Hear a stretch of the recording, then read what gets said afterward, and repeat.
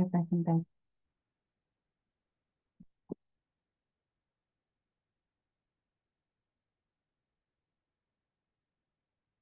Assalamualaikum warahmatullahi wabarakatuh and good afternoon everyone. Uh, before I started, I apologize because I'm having trouble with my laptop uh, camera this morning. So my face doesn't appear in the meeting Zoom. Uh, my name is Eka Kurniasi and I'm student from Shah Kuala University in Aceh. Uh, today I try to share about my research. The title is about increased productivity of enzymatic transesterification for sucrose ester synthesis considering effect of reaction of reaction temperature. Sucrose ester are compound from alcohol and fatty acid ester that can be consumed and widely applied in the food industry especially in wheat-based industry, confectionery, dairy products, ice cream, chocolate, and others. By adding sucrose ester, it will increase the strength, volume, and smoothness of the cake and bread, improving mouthfeel and also making shelf life longer. It has surface active agent properties with sucrose as the head of hydrophilic group and fatty acid ester as the tail of the lipophilic group. Usually to produce uh, use uh, to produce sucrose ester, uh, we use fatty acid, triglyceride, and met ester. The common fatty acids that are used in sucrose ester synthesis are lauric, myristic, palmitic, stearic, and oleic acid. Different type of fatty acid that bind with sucrose can produce sucrose ester with different application. To produce uh, sucrose ester, there are two common methods. The first one is chemical. It is using high temperature, um, about 240 degrees Celsius or more. And to speed up the reaction, usually use base catalyst such as sodium hydroxide or potassium hydroxide. But at the end of the process, it has stopped as side product and needs more purification stage. The second method is enzymatic. It is usually using lipase enzyme as catalyst uh, and using lower temperature than chemical method about 30 to 80 Celsius considering the life temperature of biocatalyst. This method can produce sucrose ester with brighter color than chemical. At this research, we use enzymatic transesterification method and Candida antarctica as biocatalyst. And to observe the effect of temperature on productivity, the temperature varied from 30 to 80 Celsius with an increase in temperature every 5 degrees Celsius. The substrate are sucrose methyl ester and the methyl ester synthesized from off-grade crude palm kernel oil or CPKO. To synthesis methyl ester, we use two-stage reaction. In the esterification, we use CPKO and reacted with methanol for two hours at 65 degrees Celsius by adding sulfuric acid as catalyst. From the esterification, we get crude methyl ester. The crude methyl ester used as raw material in transesterification and reacted again with methanol for 2 hours and 65 degrees Celsius. After purification, we get uh, methyl ester that can be used as substrate. To synthesis sucrose ester, First, we homogenize sucrose and methyl ester for 24 hours, and then added Candida antarctica to the mixture. And then the reaction uh, done for 10 hours. After that, crude sucrose ester separated from enzyme and unreacted methyl ester using vacuum filter. Crude sucrose ester Rinse slowly with ethanol and dry at 40 degrees Celsius for 6 hours. And then the product analyzed with UV spectrophotometer and FTIR. The results show that reaction temperature affect the reaction. In the temperature range of 30 to 40 degrees Celsius, there was a significant increase in productivity reaching 93%. But uh, increasing temperature over, uh, over than 40 degrees Celsius cause degrees of uh, cause decrease of productivity because the of the enzyme. This is the picture of uh, this is the picture of product sucrose ester at different temperature. Picture 1b uh, is sucrose ester at 88 degrees Celsius. It has dark color, more dark color than product sucrose ester at 40. And then the optimal product character, characterized with FTIR and show that enzymatic sucrose ester has the same functional group with commercial sucrose ester. So the conclusion of this research are sucrose ester can be synthesized using methyl ester and sucrose with Candida antarctica as biocatalyst. And the optimal productivity of the sucrose ester reached 93.83% at the reaction temperature 40 degrees Celsius and the characteristic of sucrose, sucrose ester from synthesis has the same functional group as a commercial product. Uh, I think that's all, and I return it to Miss Hilda. Thank you. Thank you, Ms. Eka, for the good research and nice presentation.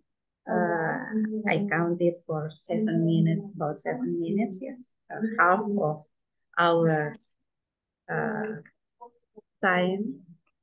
Uh, so we can start for uh, the next presenter. Okay. Next presenter, the second article. Second article with uh, the title Sonication Strategies for the Silanization of Zirconia a surface chemistry analysis. For uh, next 15 minutes, uh, Mrs. Warlinda Eka Triastuti, time is yours.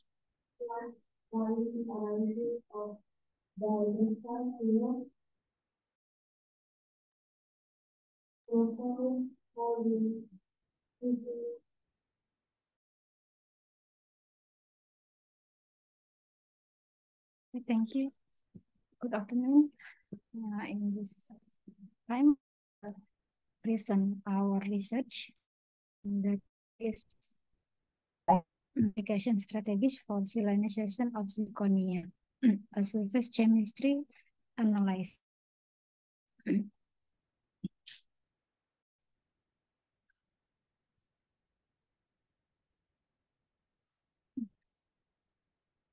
Resin composite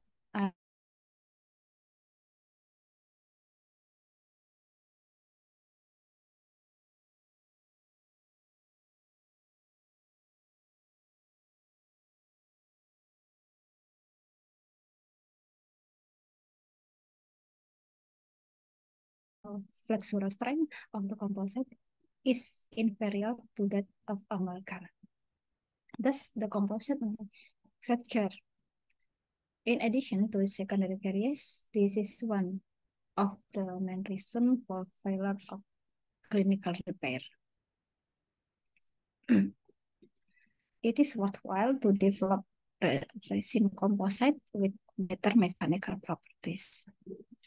Among these, zirconium oxide nanoparticles are usually used mechanically to reinforce polymer and improve the strength of the reinforced polymer matrix.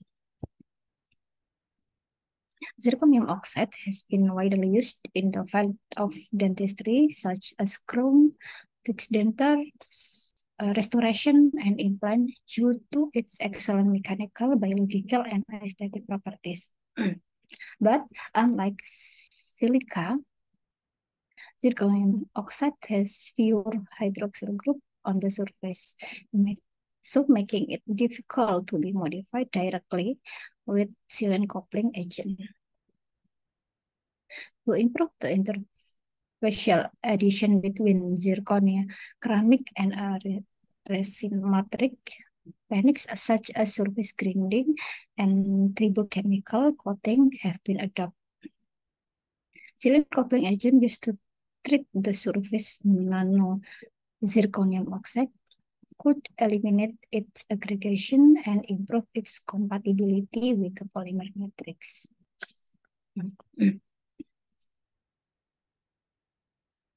gamma gamma MPS or three three methoxyl propyl methacrylate is the most commonly uh, used as coupling agent.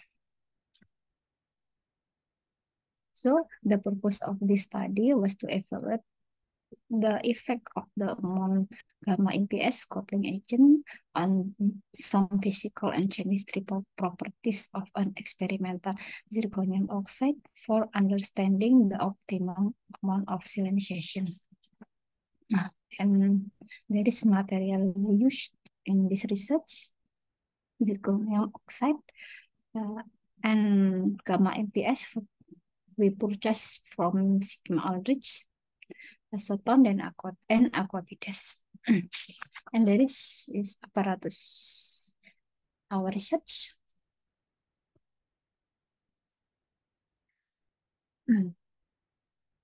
The zirconium oxide nanoparticle powder is have 99.9% purity.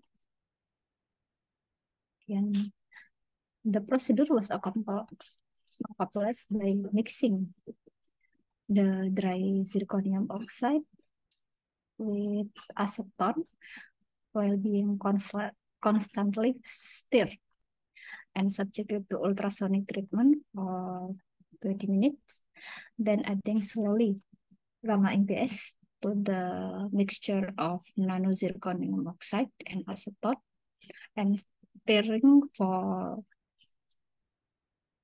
30 minutes with head stirrer. And then, uh, sorry, the mixture were reflux under and nitrogen um, flow. And then solvent was removed using rotary evaporator under vacuum for 10 minutes in six. And this is the our product the uh, zirconium oxide after silanization. Now, the silanization mechanism in the in this study is called direct condensation. The OCH3 groups of gamma MPS can chemically bond with hydroxyl group on the surface nanoparticle via direct condensation in the presence of a catalyst Due to the lack of hydroxyl group, the commercial zirconium oxide only provided a limited number of grafting sites. And hence, most of gamma MPS molecules have mainly undergone self-condensation polymerization, which eventually led to the surface of zirconium oxide being loosely bound with a silane polymer uh, coating through van der Waals force. Now, this figure shows the schematic representation of chemical reaction oxygenation process. The bonding formed between uh, the nano-zirconium oxide and gamma MPS that mainly depends on the functional group of gamma MPS. After hydrolysis of gamma MPS, silanol is formed and alkoxy group is replaced by hydroxyl group that reacts with hydroxyl group of zirconia. And it is formed by dehydration condensation reaction, resulting in the formation of chemical bonds between nanozirconium oxide and gamma MPS that are all silica. And on other hand, organofunctional group contain double bond that can bond to matrix polymer. And this is uh, the result of FTIR. characterized of nanoparticles, nanoparticle of zirconium oxide with different concentration of surface treatment.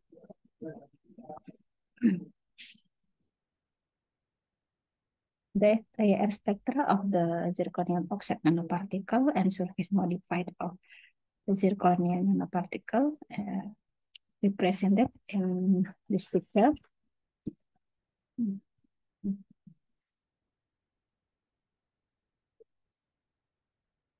The broadband observed at approximately 3,414 could be attributed the, the stretching vibration of zirconium oxide. Sorry, zirconium oxide. Whereas the peaks and um, at 100,297 indicate the presence of zirconia O bonds. There, there, there is. Furthermore, the asymmetric vibration of the zero bond it was observed in uh, the 738. FTIR spectra of the surface modified zirconia oxide where gamma MPS covalent covalent bonds to the zirconia nanoparticle via hydrolysis and condensation reaction, resulting in the formation of a covalent zircon O uh, silica bond. It's showing at peak um, 1088. This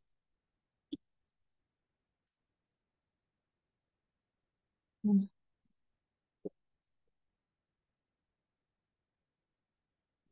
C double bond C observed in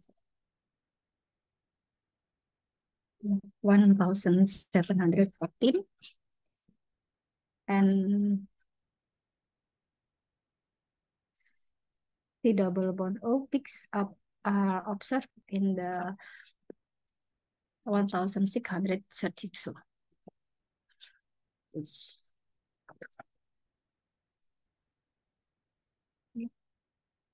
but uh, the analysis uh, are not yet yet is STEM thermochromatic analysis and particle size analyzer is being done. I think that all. Thank you.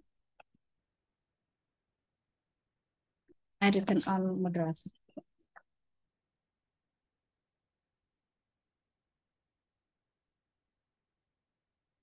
Okay.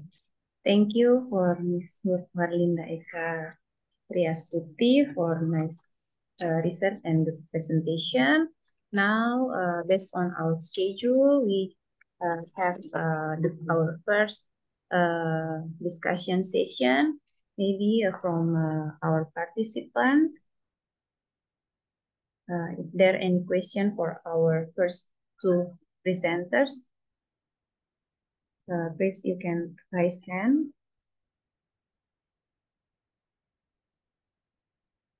Does my voice is still here clearly? Because my bandwidth is slow now.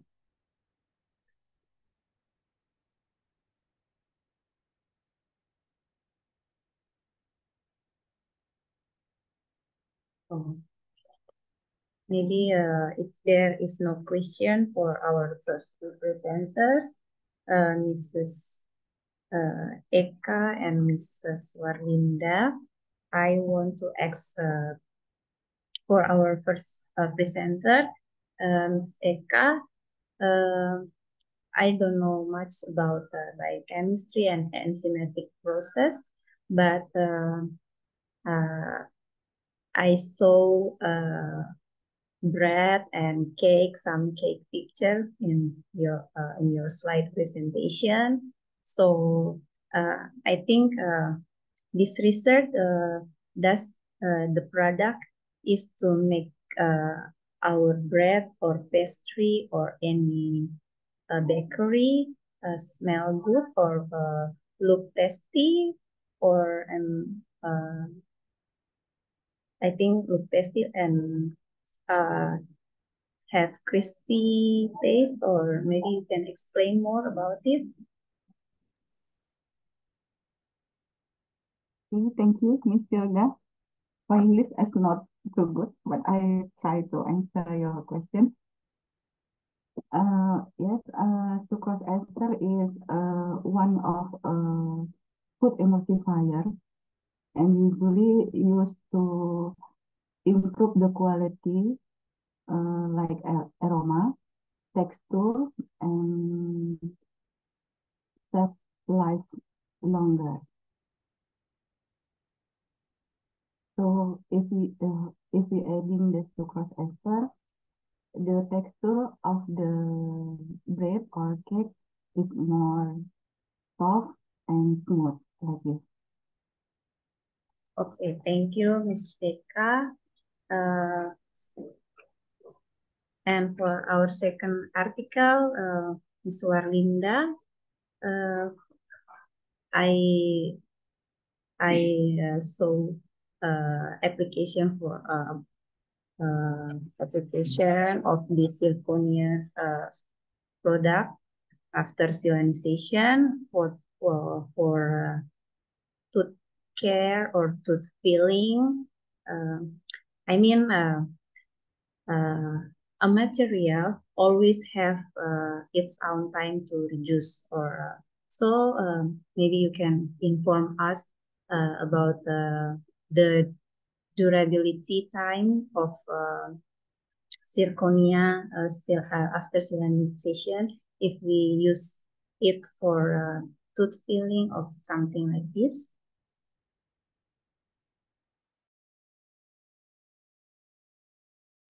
Mrs. Warlinda, can you hear me?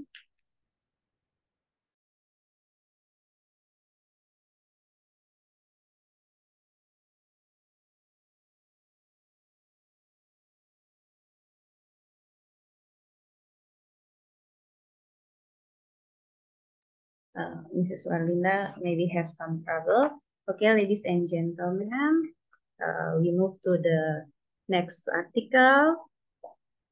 Okay, next article. For our third article uh, entitled Revealing Antioxidant Potential and Identifying Bioactive Compounds from Sour Eggplant, Solanum ferox fruit extract in various solvents. For uh, authors, Miss Mrs. Juliana, Mrs. Septaria Yolan Kalalinggi, and Ms. Rasida. Next 15 minutes is yours. Thank you, Mrs. Hilda.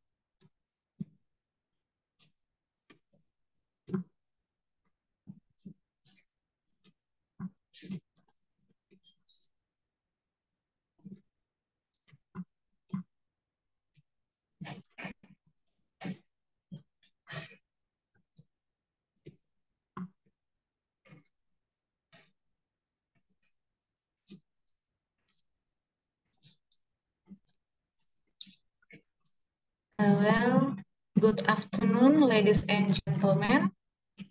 I'm glad to see you all. Thank you very much. Thank you for the opportunity that given to me. Now I'm going to talk about my research. The title is Revealing Accident Potential and Identifying Bioactive Compounds from sour eggplant, Solanoferox fruit extract in various solvent. And this is our team research. Is uh, Mrs. Julian, Juliana and my name is Aryalan Kalalinggi and then Mrs. Rasida. And my our affiliation, Department of Chemistry, Faculty of Mathematics and Natural Science, Palangkaraya University. This is the introduction.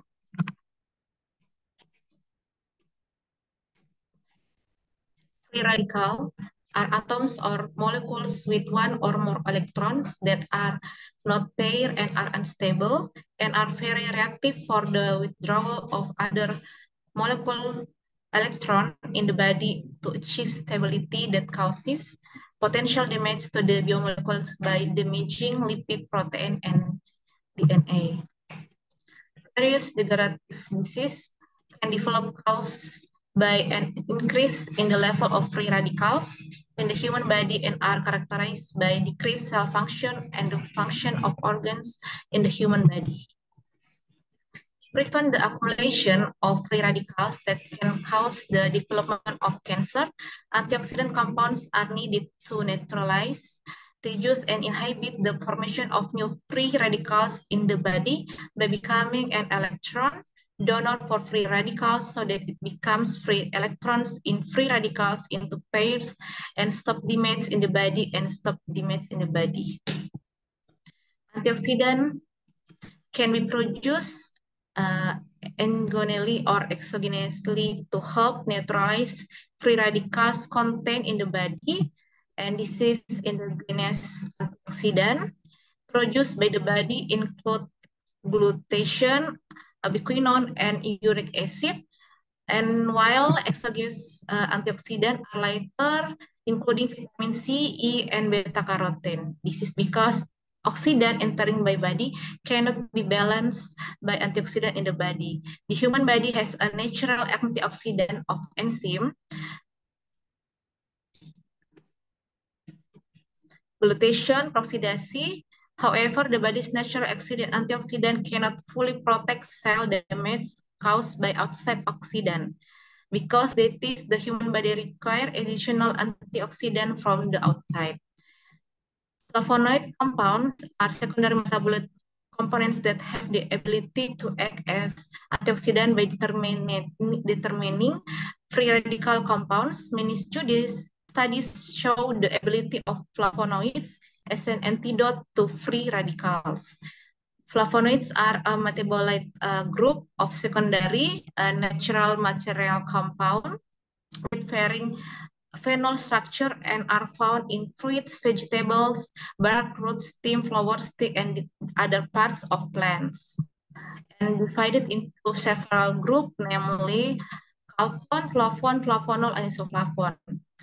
And this is the potential biodiversity in Indonesia has the potential in discovery of new flavonoid compound, phenol and as antioxidant, one of which is a typical plant of Central the rimbang fruit or Solanum ferox. This is fruit is known as surplant plant or terong asam in Indonesia, which is widely used by the diet community as a vegetable. The phytochemical test of the ethanol extract of rimbang also contains alkaloid terpenoid uh, from Sharpin 2018, and the same phenolic extract effectively suppress the growth of Pseudomonas sp bacteria and reduce pathogenic bacteria in the fish body whereas the ethanol extract of the root of rimbang shows the activity against S. and E. Rahmawati et al. 2021. And this is the method. The materials used are sour eggplant plain, uh, various solvent, organic solvent, like, such as ethanol, and we can see the slide. And then mm, for tools, the tools are uh, preparation equipment generally in laboratories and some instrument we use like spectrophotometry VFIS, FER, and GCMS. And this is the procedure. There is several uh, procedure and we begin sample preparation and then extraction of eggplant with ethanol, uh, no, with uh, hexane and hexane solvent, and then filter and evaporate. Uh, phytochemical test, identification compound, using spectrophotometry UV-Vis and ER, and GCMS, and then antioxidant activity. And this is the procedure. And uh, this is the step maceration. And um, We use multi-level maceration method in sample extraction, use different polarity solvent, such as uh, ethyl acetate, ethanol, and hexane ethyl acetate, ethanol, dan water extract. And this is the result and discussion. Uh, the first, we measure yield of solanum ferrox extract, and this is weight of ethanol extract, 27 gram. This is the uh, our extract, extract ethanol. Uh, percent rendement is 5.53%.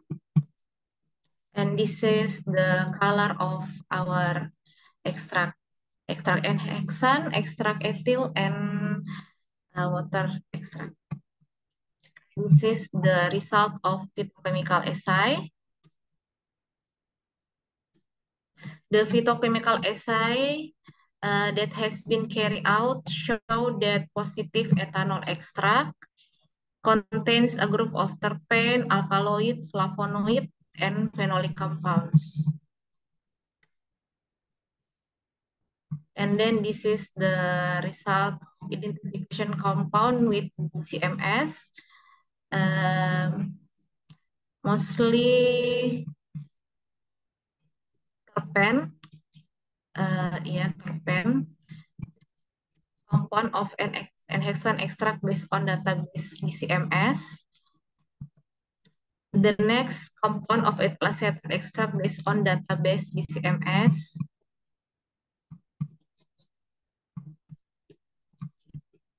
Okay, and then this is the analysis of FTIR. Uh, the picture above shows figure is an ethanol extract spectrum. Data that show the presence of with absorption band on the wave number. And we can identify functional group in this table.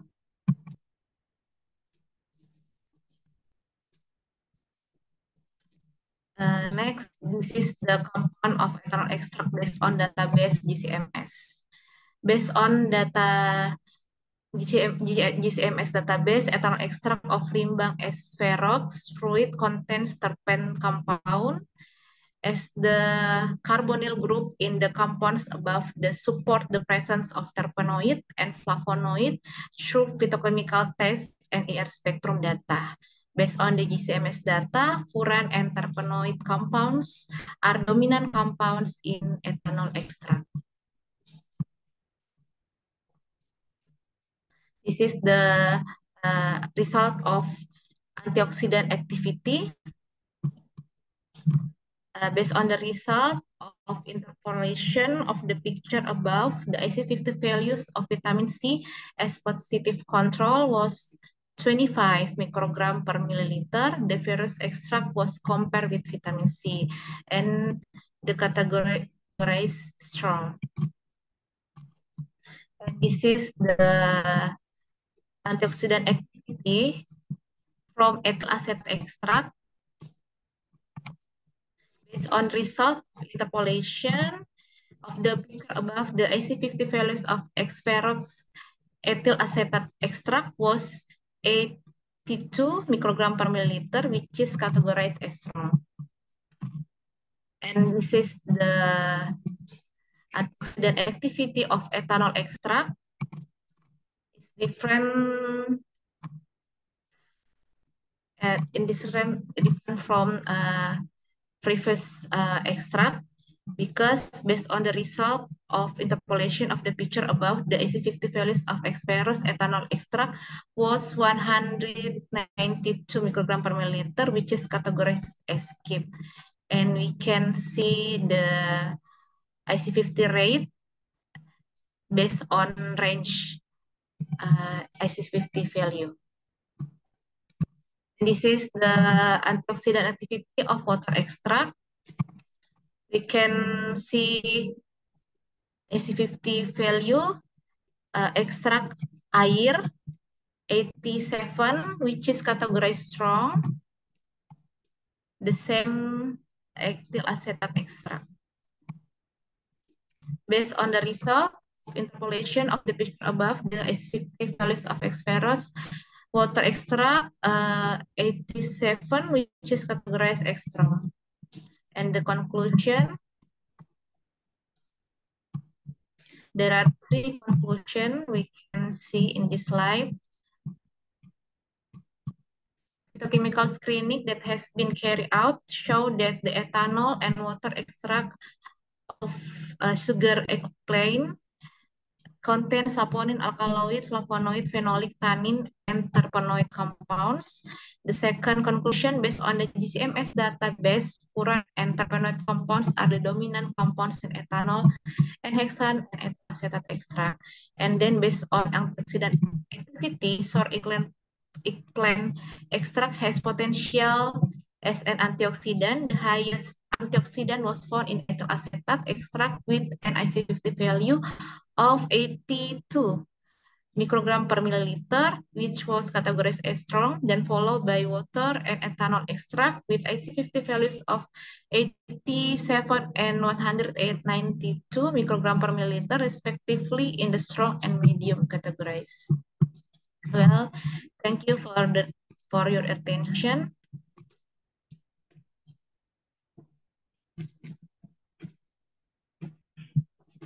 Okay, thank you, uh, Mrs. Septaria, uh, for uh, good research and nice presentation.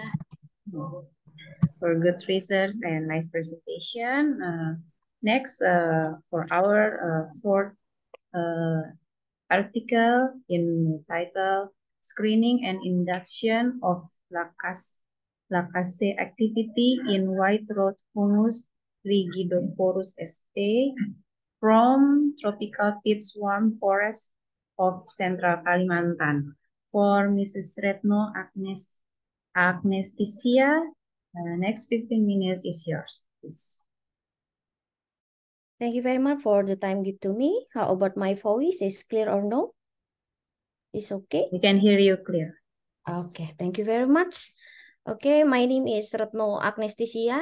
I'm from University of Palangkaraya, Central Kalimantan. Uh, today, I would like to present my research about screening and induction of the laccase activity in the white rot fungi uh, Rigidoporus sp from the uh, tropical swamp forest of the central Kalimantan, which is this research is a part of our whole research in this year.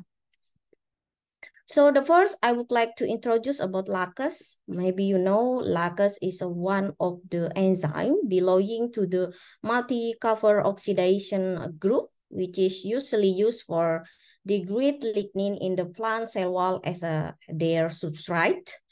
And uh, for the catalytic reaction, they commonly use oxygen as an electron acceptor. That's why we know that oxygen is very abundant in nature. So this is uh, enzyme is very easy to applicate. And on other hand, the enzyme is uh, can use for the degrade a variety of substrate uh, by reporting uh, some resizer. Uh, they can uh, degrade the phenolic and non-phenolic compound. That's why this enzyme is very interesting enzyme that can be used for the other application like uh, food processing industry, environmental application, pulp and paper industry, uh, industry and also medical and healthcare. Uh, due to the wide uh, application of laccase, this uh, enzyme is considered need to explore uh, especially in the central Kalimantan forest that we know that uh, central Kalimantan has a very uh, big uh, big area that can be explored the uh, organism that can produce the laccase.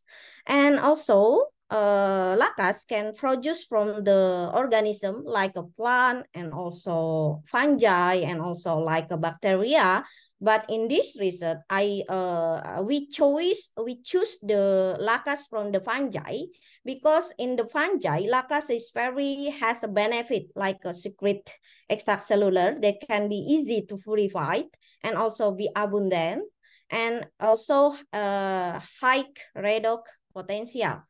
And of course, uh, this uh, reaction why I choose uh, why we choose this uh, enzyme for continue uh, our research. And also we know that uh, fungal laccase, especially in the laccase enzyme, is widely found in the uh, white rot fungi that belong to the Basidiomycetes. And then the tropical peat swamp forest of the central Kalimantan are very suitable for uh, white rot fungi because in this forest has a high organic material compound uh, uh, content and also wet and humid environmental condition and also uh, have a big area that uh, now has not stabilized to explore.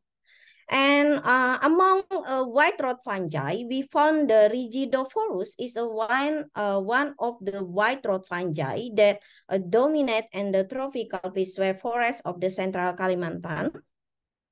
Of course, and this study is expected to reveal the potential of Rido, uh, Rigidos uh, Forus sp as a laccase producing fungus from the tropical peat swamp forest of the central Kalimantan. We hope we can get the uh, enzyme from the fungi that uh, great high uh, enzyme uh, activity.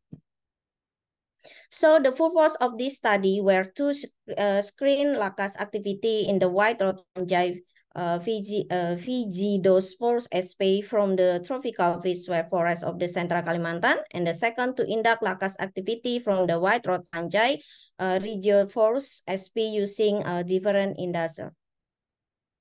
So uh, because we have uh, the uh, limitation of the time, so I combine uh, between the method and result and discussion.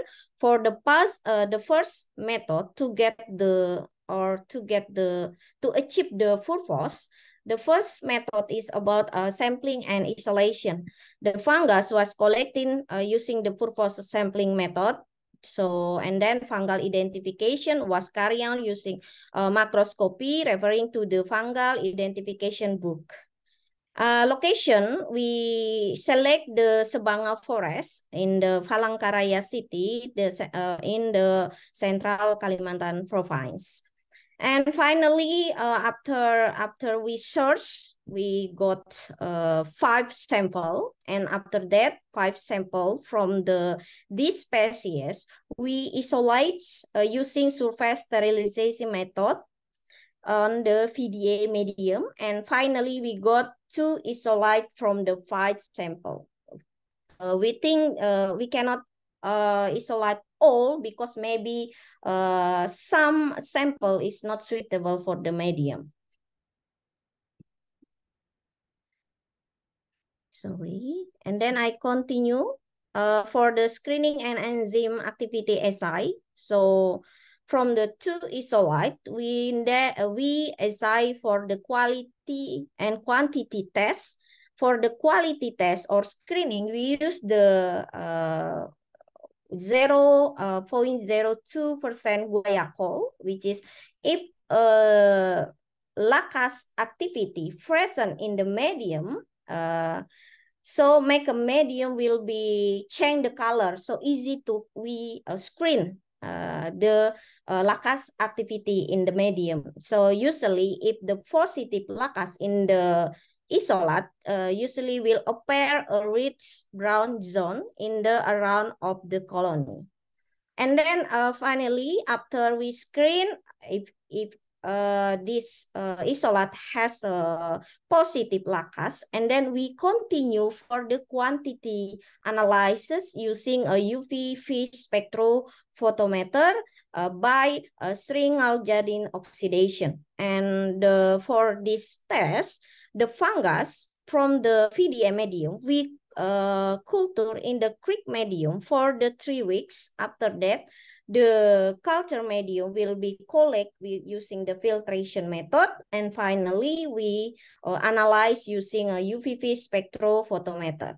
And then for the protein, we determine using the Bradford method. And for the screening and enzyme activity result, we found the from the two isolate, we found the one isolate uh, give the highest uh, enzyme activity for the laccase. So that's why we choose uh, this isolate for the continue our research. So this uh, we, we can see in the slide for the table is the isolate one is very uh, more high uh, enzyme uh, activity from the other. Uh, it's uh, 0 0.49 NCAT per milligram.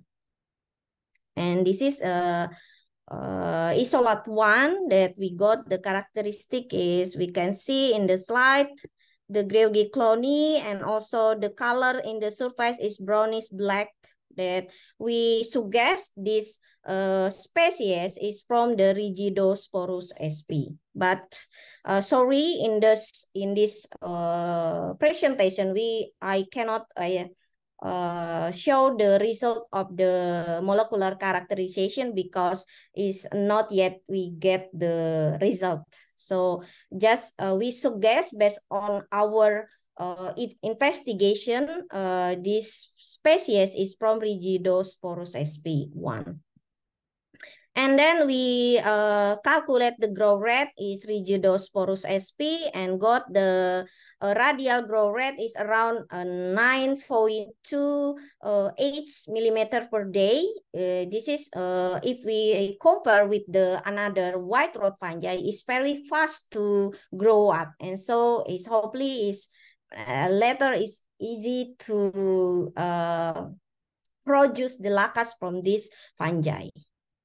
And then for the uh, fourth, the optimization and incubation uh, incubation time, we call uh, from the result this isolate we then uh, culture in the Kirk medium. And then uh, we wait until three weeks. And every three day we col collect the culture medium and determine the enzyme activity. And finally from this uh, the result, we found that the uh, optimization for incubation time for this isolate is around 12 day 12 days. They can uh it can uh, produce laccase around 1.32 NCAT per milligram or around uh, 79.8 uh, one egg uh, unit per liter. So and then for that, we uh, got the time incubation that can be continued for the uh, induction uh, of the laccase activity with a different inducer. So in this uh, research, we use the four kind inducer. So the first is uh, copper sulfate, and the second veratryl alcohol, and the third is ethanol, and the fourth is guaiacol from the some reference uh, reference we got.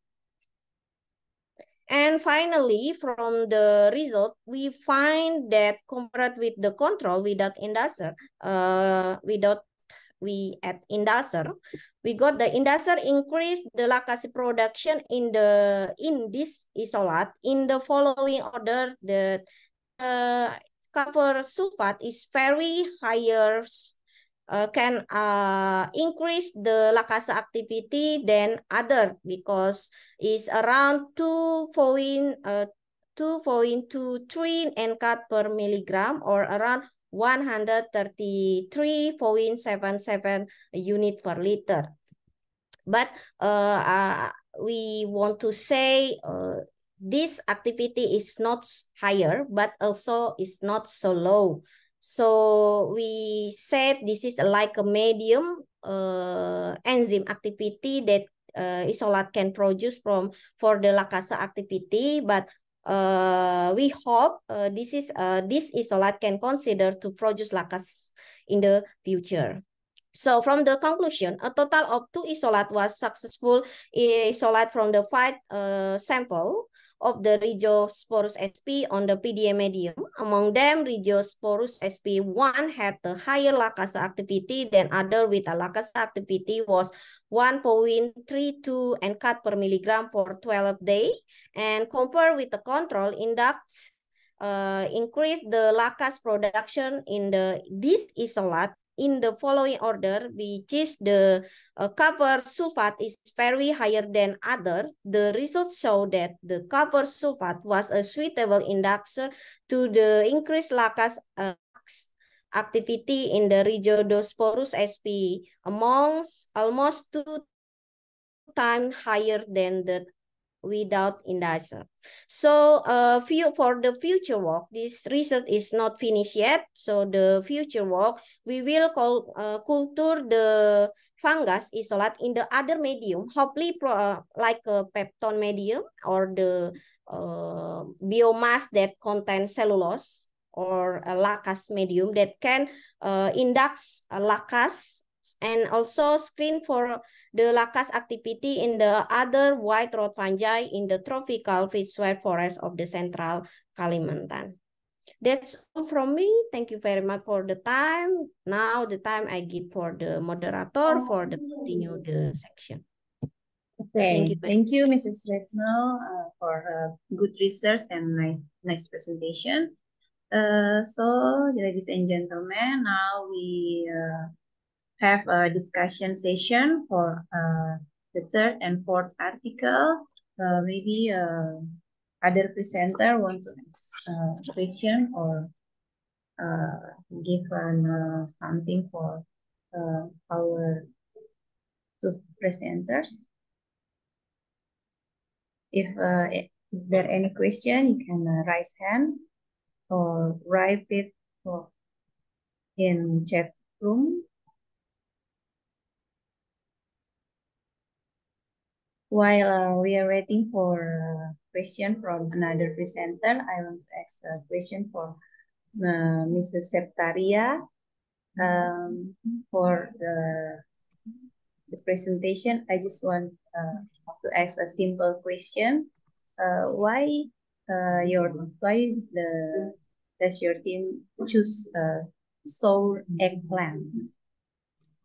I mean, there is many more another plant, and then why sour eggplant?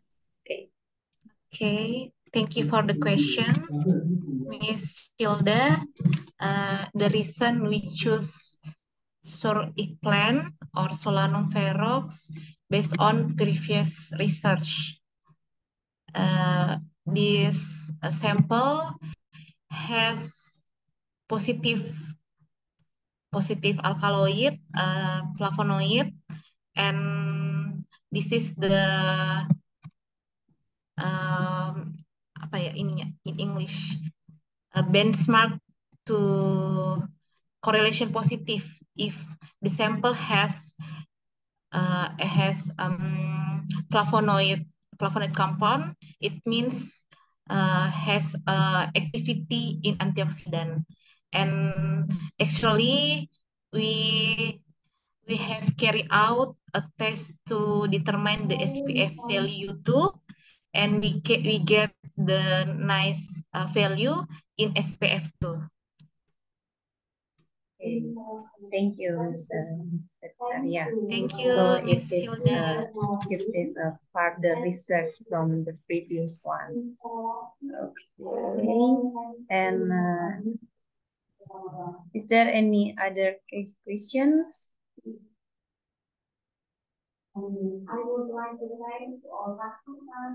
case questions? Okay, I think I make uh, an error. Uh, now, uh, uh, is there any other question for uh, Mrs. Septaria or Mrs. Retno from other presenter? If there is no question, then I, I just I'm just curious, Mrs. Retno. For the first time, uh, uh, you and your team do the research. Uh, uh, I think uh, we have to take the sample from the forest for the first time uh, before uh, we uh, further uh, doing research for make sure uh, for uh, for the detail. Does the fungus uh, Rigidoporus sp uh, live in a very large amount in uh, forest of Kalimantan? So you want? Uh, is it uh, does it the reason why you choose uh, fungus uh, rigidoporus sp or uh, there is another reason? Yes. Thank you very much for your time, uh, for your question. So, uh, why we choose? Actually, this is a part of our research.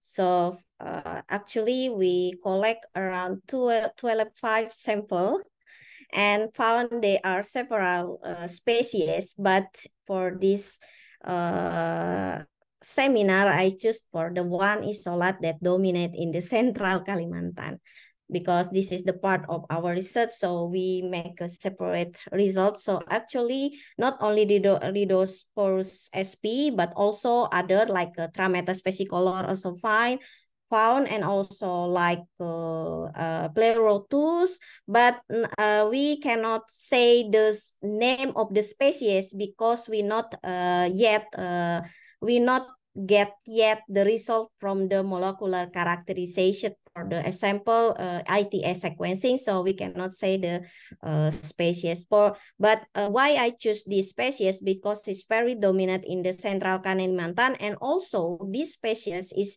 usually can infect the rubber trees. So it's very uh, like a fungal pathogen that maybe we can uh, more uh, explore this uh, fungi that uh, can investigate the uh, rubber trees disease like that. Thank you very much. How about okay. my question is clear or no? I'm so sorry. I cannot. Yes, I I, I get it. Yeah, I get it. Okay. okay. Thank, Thank you, you. Uh, Mrs. Retno uh, for uh, nice research. I think it is a part of a very large fish backbone research. Okay, uh, now I, we can see that um, we have, uh, I think, for our fifth and sixth article, the authors is not coming yet. So we jump to the last article. Mr. Fahri, are you ready? Mr. Fahri, can you hear me? Okay. Ah, okay. Fahri, uh, in the article, Techno-Economic Analysis of Hydrogen Storage Technologies for Transport Application. Mr. Fahri yes. next 15 minutes is yours. Okay. Uh, First of all, thank you for the opportunity. Uh, and then I will share my presentation.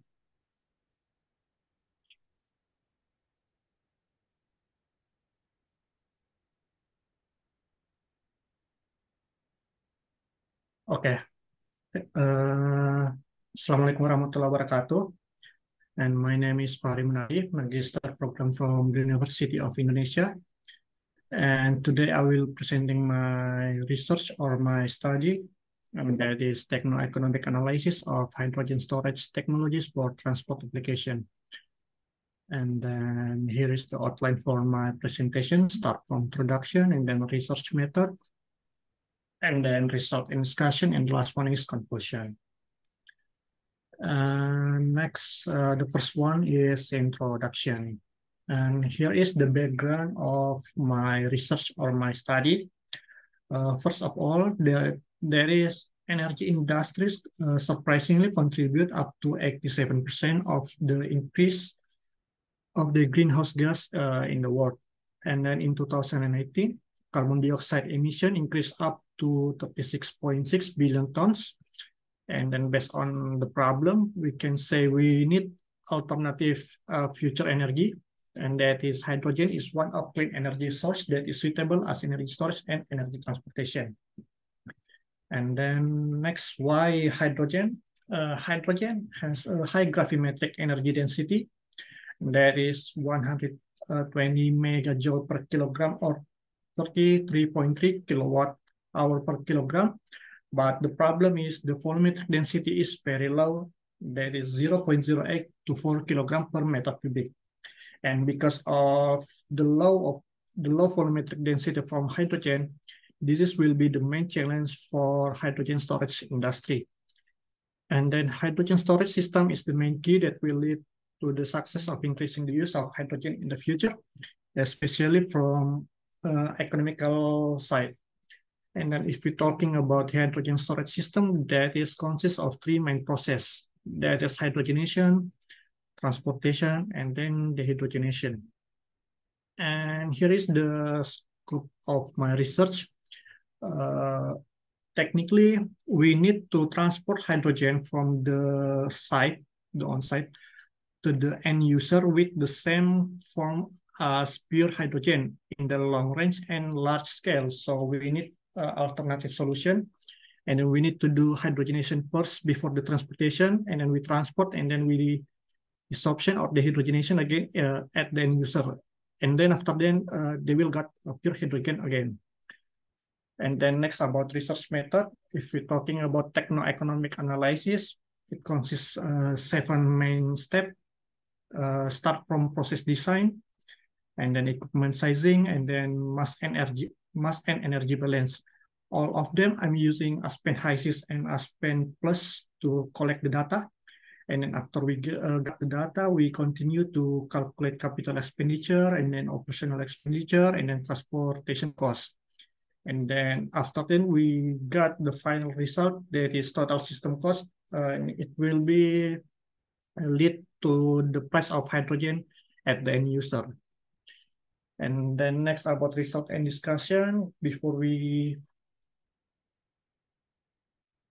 before we go to the final result uh, this is the basic information in my research.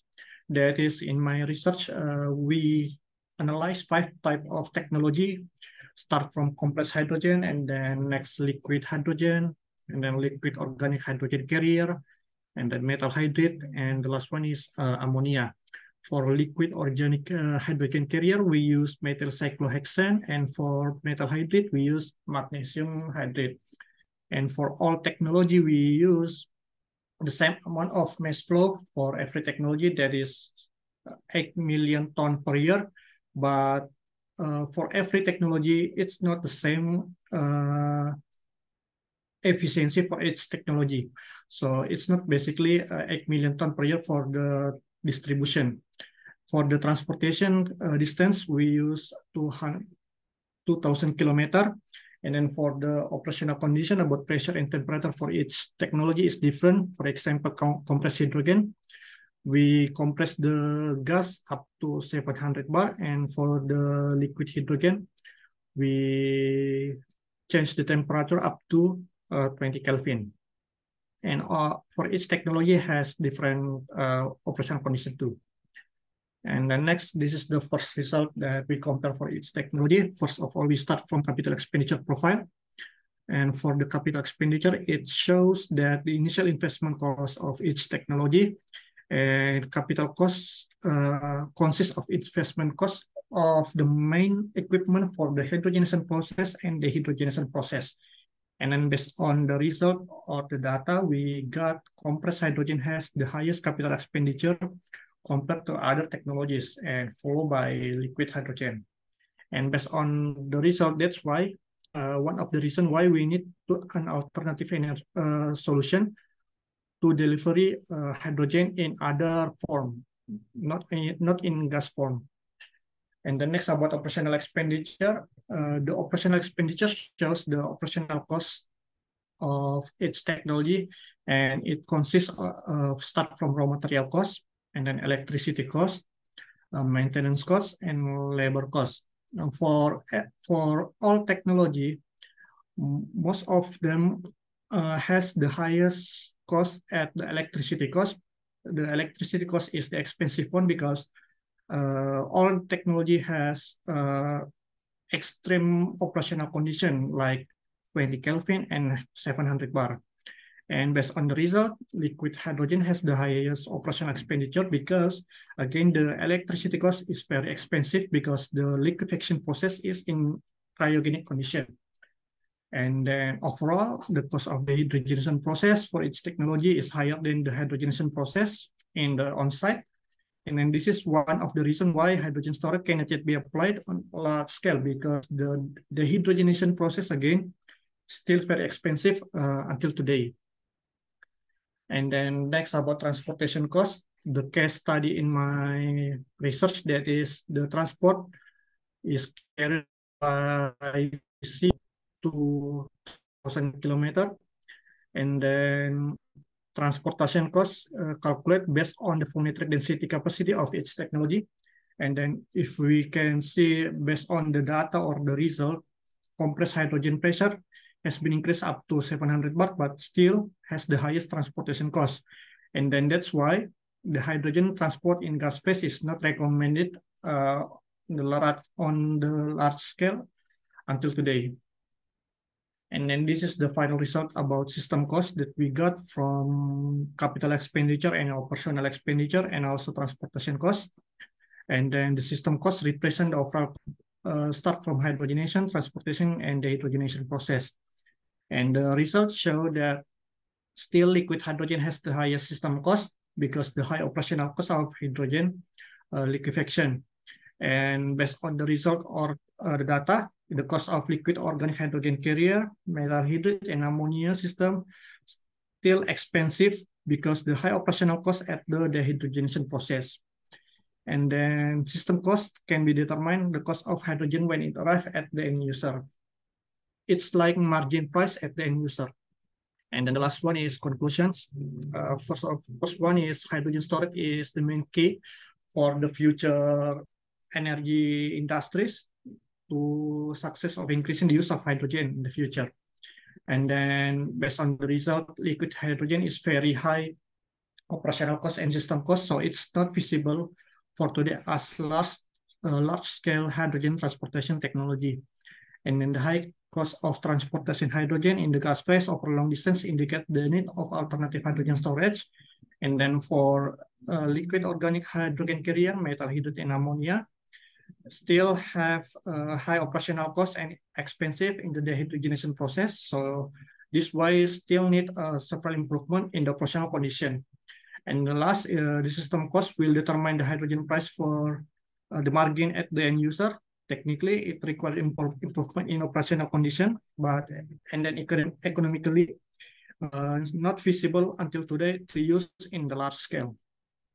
And thank you everyone for uh, the attention. That's all from me. Assalamualaikum warahmatullahi wabarakatuh. Okay, thank you, Mr. Fahri. Uh, I think Mr. Fahri is uh, our last presenter. Maybe from another participant.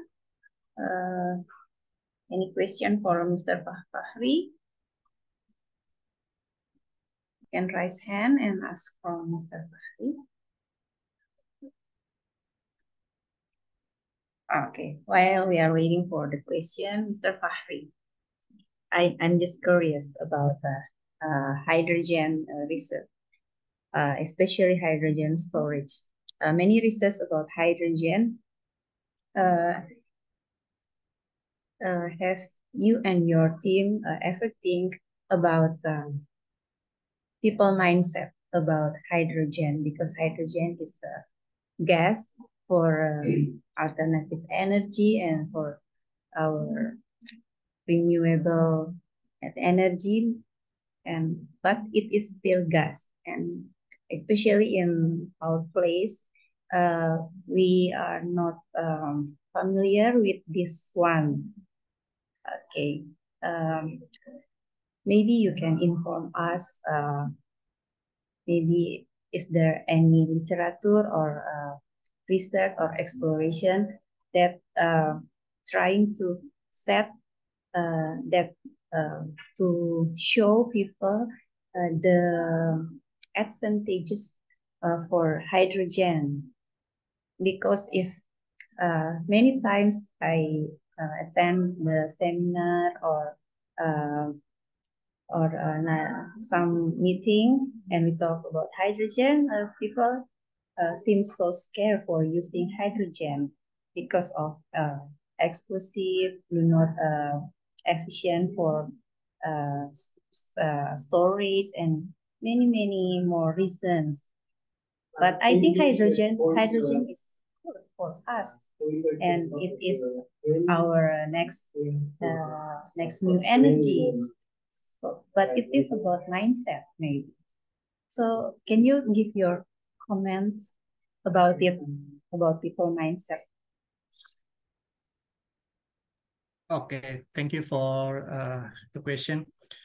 Uh, from me, uh, it's so hard if we say about the new source of energy in the future because of the mindset of the people because uh, it's uh, what I can say traditionally they they they don't know what is the benefit or or maybe not the benefit. We start from the problem uh, for today.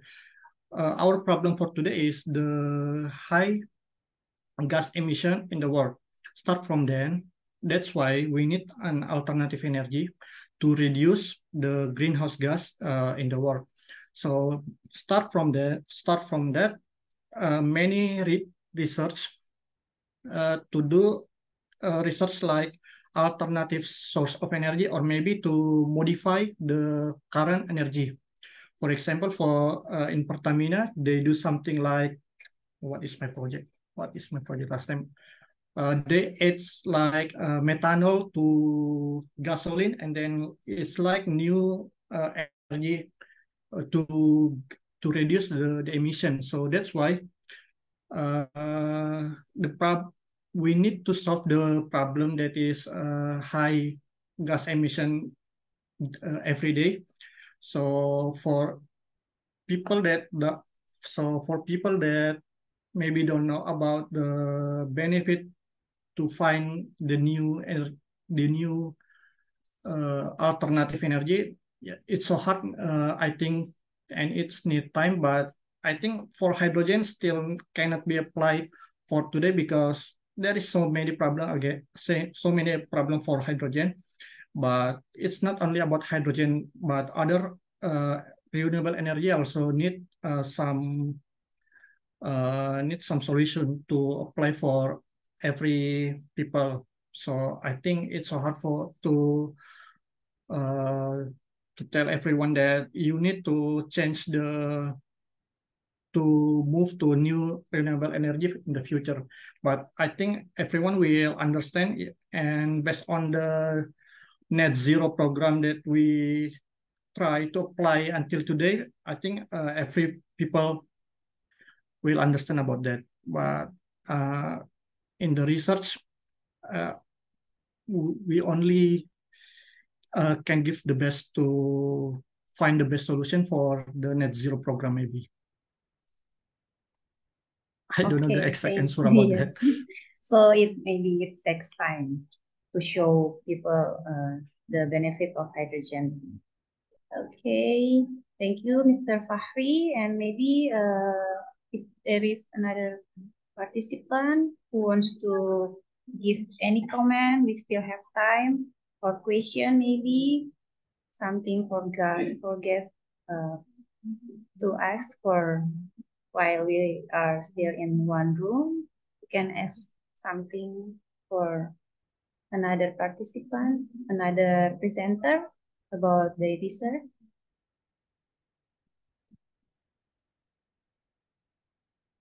Miss Septaria, I'm sorry for uh, my last time error. Okay. Welcome back to our room. Welcome back to do you have any question or comments for uh, another presenter in our room? I think enough because I didn't didn't hear well. Yes. Yeah. okay. Uh, if there is not uh, there is no more question or comments or something to to discuss anymore, uh, I think uh, all presenter uh, are uh, allowed to join uh, the main room and we, we uh, in uh, for our closing ceremony we will uh, announce the best presenter so we hope all presenter can join us in the main room. So thank you for a good presentation. I wish you all the best for uh, the research and we can make a better world we can make better Indonesia uh, via our research. Uh, so, uh, Assalamualaikum warahmatullahi wabarakatuh. I I wish uh, we can join for our main room. Good Thank afternoon, everyone. Jess.